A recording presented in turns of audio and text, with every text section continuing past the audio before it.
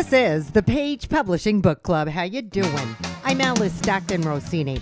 Let's take a page from the It's Not How You Fall, It's How You Get Up file with Gary Slavin from Long Island, financial advisor most of the week, writer the rest of the week. It took him six months to write his book, two years to get it published after a strange sighting gave him a story idea and a great title Four Pebbles on a Beach. Uh, I was jogging in John Burns Park, and uh, one day I witnessed a woman getting out of the car, just like the book starts and she was dressed to the nines. She bent over, pick up four pebbles, and put them on a bench. And I thought that was odd, but this is Long Island. And a couple days later, uh, another woman did the exact same thing. She parked in the, the exact same parking spot, put the pebbles on the bench. And I went to a friend of mine who's a retired cop, and I said, "This is what I witnessed." And he starts laughing. And he says, "Gary, you just witnessed a drug drop." What? yes. So from that experience, the book came, and uh, it's the twists and turns of life. You know, uh, what what would happen if someone got involved with the drug guys, and um, where would they go from there? So I think the book is really about, as Americans, we're not always given the best choices in life. We're given choices. We may not like them, but take the best one and run with it, and try your best to do your best. And that's what happens with Warren and Marianne in the book because they're both vets. They both kind of got the raw, raw, raw end of the stick, and it's how they make a life out of it, and they succeed at it. What happens is Mary Marianne, she's an homeless vet who, uh, because of a Pentagon foul up, they can't find her papers, so she's not eligible for any benefits. So she goes through pails every morning trying to pick out the bottles to return and get the nickel. And one morning she goes to this pail and there's a an envelope full of money and she takes it. That money belongs to the drug kingpin, Warren, and he wants his money back. And so she he gives her a choice. Either give me my money back or come work for me and work it off. Oh. She doesn't have any money. So she gets into the drug business and so she becomes a runner and eventually becomes a partner and she takes over the business and at all times, there are different drug gangs trying to get the same customers or the same territories. And so the two of them go through that, you know, different rings, different cartels are trying to take their territory. And eventually the Chinese try to come in and take the territory, and then there's a big fight over it. You know, it sounds like you did a lot of research to figure out how this all works. Like your friend the cop help you out with that? He helped me out with what would happen if someone found the money and he said to me, "She's a civilian. She's not going to get killed, but she's going to get roughed up, roughed up a lot." So um, instead of roughing her up, I I, ba- I basically said, "Okay, listen, you're coming to work for me to pay this off because you obviously don't have any money." I mean, she had a choice to make, but she really didn't. No, no, and and that's why I think it's truly an American story because a lot of times we don't have those choices. You, you have to survive. You have to survive, and and especially after the pandemic, I'm thinking like people have to survive and you, you, know, no one knows what they have to do to survive but they're gonna survive. And one of the phrases in the book from marianne she goes i'm gonna survive this. I'm not gonna die. So it sounds like you had a really good time writing this. I did i did. But the, the best thing was when the book came to my house you know it's published it's bound and uh, my wife read the whole manuscript and things like that but it was when the book came to the house and i took it out of the box and i showed it to my wife uh, my wife, there's a big smile on her face, and she knows now my husband, the author, made it. You know what I mean? That that made it. So it was it was nice. It was really nice. But um, so now what? In the worst possible time to promote a book. yeah, you, you can't go to Barnes and Noble and do a book signing. So I'm doing it all on social media. Uh, I'm on Facebook and Twitter and Instagram and LinkedIn. Um, I have a website, GarySlavinAuthor.com, all one word. And uh, the the website has an email if you want more information. It is there is more information about the book there. And I'm getting some. Uh, I'm getting uh, good reviews. a lot of people are talking about it. Uh, the online book club gave it four out of four stars. During Christmas, I took photographs of the book on the benches at John Burns Park and I put it on Facebook and said, "Where is this?" I thought about doing that and going because there's two diners in the book. It's the Massapequa Diner and the Nautilus Diner. So I was going to go to their two places and ask the owners if I could just take a picture of my book here because you're in the book, and then ask them, hey, you know, you know where this place is? It's in the book, you know. Right. They could put that on their counter. Yeah, yeah. All right, Gary, I'm looking forward to that sequel. Thank you. Let's go out to Diamond D Movie Ranch, a field full of movie sets where more films than you can count have been shot over decades. Rene Veluzat tells the story of how he got where he is today in his book entitled My High Adventures Behind the Movie Scenes, a story that begins when you were in the movies, right? Well, my dad, he started with a cattle ranch. And when I was young, I was on the show Wagon Train. And what had happened was is the director had said, "Can we go out and film on your location?" So I'd asked my dad at the time, and he didn't believe that anybody would want to pay money to take pictures of a cow. But I had to convince him. The show came out and they filmed, and we had such a good experience with them. The director said to us, "Hey, if you built a few more sets, you could uh, get us to come out here more often. It's called the locations business." We started building outdoor standing sets on our cattle ranch. And we started with a simple Mexican town, and we did all kinds of shows back in the 80s MacGyver, Dukes of Hazzard, the A Team. So you've been around since the 80s. That's correct. And we started with our original location, which was called the Veluzat Movie Ranch. Veluzat, what a great name. Not a lot of people really understand the movie business. And um, I have had so many experiences that I just needed to get out. I, I have met a lot of stars. One of them was Tom Cruise. And um, I was actually very nervous to meet him. I thought he was a megastar. He was going to come in in a helicopter, land on the ground, do a little scout of the location for a PSA that they were doing. Well, I got everything all prepared. I drive a water truck, a 4,000 gallon water truck. I got the pad all wet down so when the helicopter came in, there would be no dust. And um, my goal that day is, you know, I always wanted to have a picture of me with Tom Cruise. At the end of the scout, I was kind of nervous.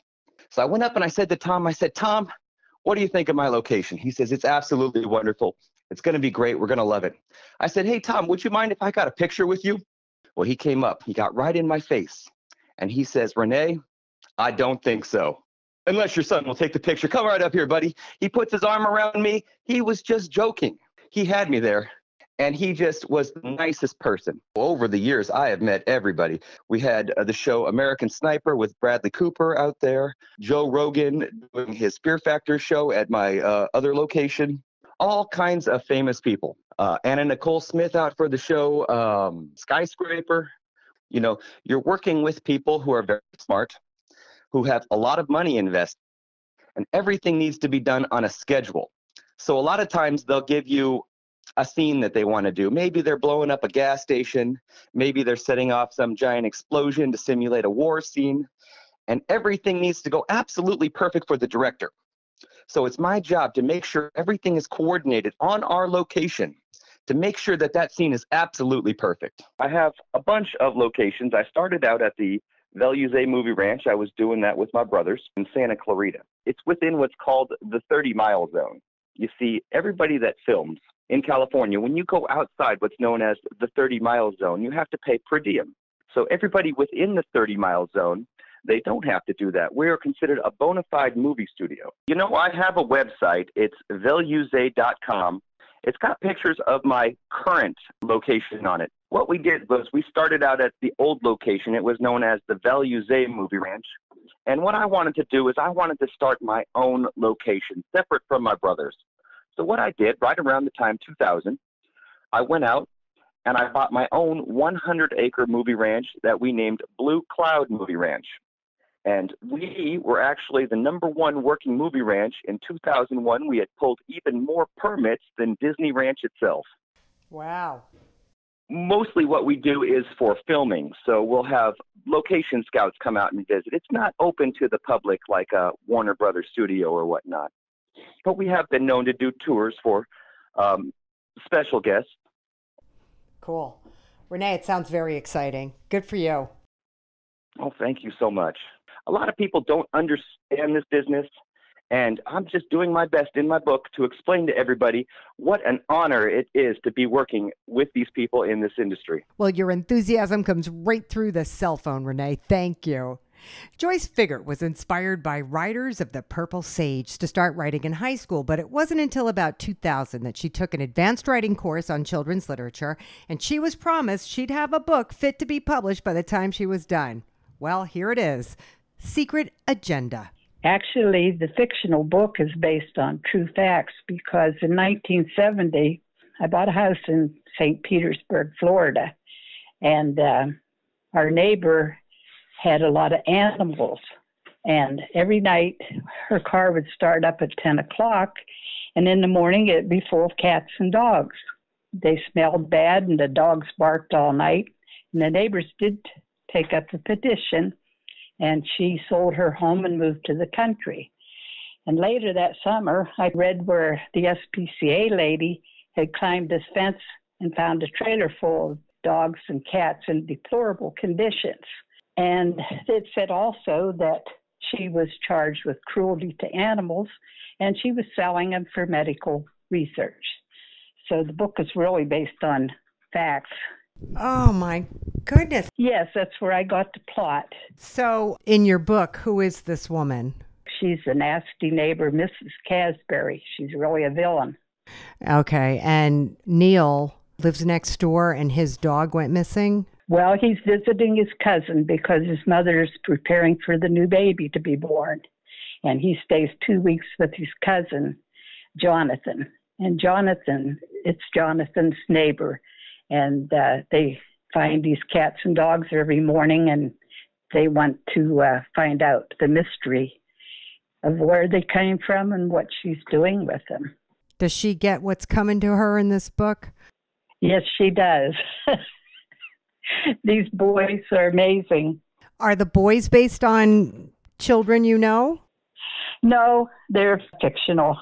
I never had any children of my own, but a lot of it's uh, based on things I did when I grew up, going to the fair and, and uh, saving my money all year and things of that. It tells the world before the computers and the, all the electronics that kids have today how we lived. So, would you recommend people who want to write to take a course like the one you took? Absolutely, yes. They critiqued every month, and I sent my assignments in and taught me how to write in first person and not to ramble and to make my words count. But I think the uh, the poetic way I described the kids floating on the creek about the frogs jumping and they see minnows and how the sun reflected on the mirror of the truck made prisms of color, things like that. I learned from Zane Grey's Riders of the Purple Sage. from so long ago, it still influenced you. Yes, yes. That one book my sister left behind, and I found it in the attic. So you never had kids of your own. Are you able to find kids? You, you, you said that this is a book for middle schoolers. Yes, I have a lot of nieces and nephews, and I've been like a second mom to them, and uh, really enjoy children. But uh, I did give my little neighbor a book for his birthday, and he enjoyed it. And my grandson says, Grammy, Joyce wrote a book, and he's so excited. you should get all of your nieces and nephews to put it out on their social media that you wrote this book. There you go. Well, I am on Facebook. I've had a lot of congratulations. I belong to three authors groups on uh, Facebook. And I had a call from California saying they wanted to promote my book, of course, for a fee, but she said that I was highly recommended by the Library of Congress.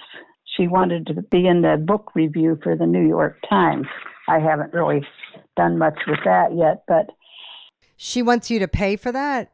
Yes. For a book review in the New York Times? I don't know. I don't know. Yes.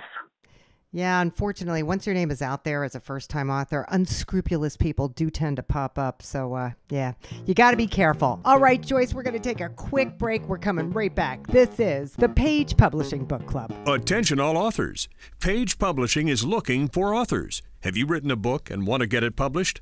Page Publishing will get your book into bookstores and for sale online at Amazon, Apple iTunes, and other outlets. They handle all aspects of the publishing process for you printing, cover art, publicity, copyright, and editing. Call 800 204 6099 now for your free author submission kit. That's 800 204 6099 for your free author submission kit. We're back on the Page Publishing Book Club. I'm Alice Stockton Rossini. A freshman at Penn State University, Caroline Coite was encouraged by her fifth grade teacher to seriously consider writing. One of many story ideas she wrote then, she finished when she was in high school with the encouragement of her mom, and now she's published Secret Land of Creatures. Basically, it's about this girl who um one day with her dog she falls underground and discovers this world that's an everlasting winter storm. So it's always snowing 24 7. And she finds this family that lives there, and they kind of explain to her, like, how they got there, why it's always snowing, and how they got there and the predicament that they're in. Since she's the only person that's found them in so long, they ask her if she can help them escape from this world that she's discovered because they're basically trapped under the ruling of a queen that doesn't like them. So then she goes on to help them and finds out quite a lot of things. She makes new friendships. She fights monsters, which is how she helps the family kind of escape. They're kind of like the queen's like little minions that they have to fight to escape from this everlasting winterland. And she gets uh, superpowers? Yes, she does. She gets superpowers. Oh gosh, you're giving away my whole book. Well, not really, because we don't know how or what happens. Oh, true. Is this a book for anybody? Is it a book for kids? I would say it's mainly targeted toward like children, but honestly, teenagers could read it too. Anybody could read it. I believe the main target audience, like the main audience that would really appreciate it and like enjoy reading it are like elementary school children, fourth grade, fifth grade. Um, I post it on my social media, like my Instagram, my Snapchat. Um, I tell my friends about it. My sister, I tell my sister because she's in fourth grade. I tell my sister to tell her friends about it um, to tell their parents so they can possibly buy it for them. Um, I told my cousins about it because I have a lot of cousins that are kind of in like elementary school and stuff. There you go. Yeah, so I kind of just tell everybody. I tell my friends, like word of mouth, internet. I just kind of, you know, let everybody know, hey, I wrote a book. You should go check it out. Is that working out for you? Slow but steady, slow but steady. Um, I can only do so much, you know, I can only say so much. I can only tell people, hey, go check out my book, but it's really up to people if they really go do check it out and buy it and read it. So hopefully, you know, as time goes on, the pace picks up. And I'm also trying to get it um in stores, in a Barnes and Noble store or like um in bookstores and stuff like that. So hopefully once I do that, you know, it will also pick up, like the sales will pick up as well. All right, Caroline, you know, I'm glad to hear that you can fall back on your uh, pre med studies there at Penn State University. Good luck. You got a lot going on. Richard Blum writes about everything in Las Vegas, but the book he published was inspired by a radio interview he heard with John Lennon. The name of his book is Grayson Knowles A Dystopian Solution. I was listening to an interview on the Beatles channel, and he said that he and the boys were getting ready to go on stage, and the band before him was playing their exact set in the exact order they were going to play it in. He says, Man, we better start writing some music, be original, get our own stuff. And then, of course, the rest is history. But what he really said in that thing was, You don't know what you can do until you try. It got me off the couch. But then you start thinking about guys like uh, Rod Serling. Loved his short stories. Fabulous. This is a story of a dystopian future, if you will, where people have given up for the sake of argument, I might say, say, you know, thinking everything all the way through. And what happens when you leave things to other people? What's the result when there's a breakdown of social norms? That's one of the things that's written on the back.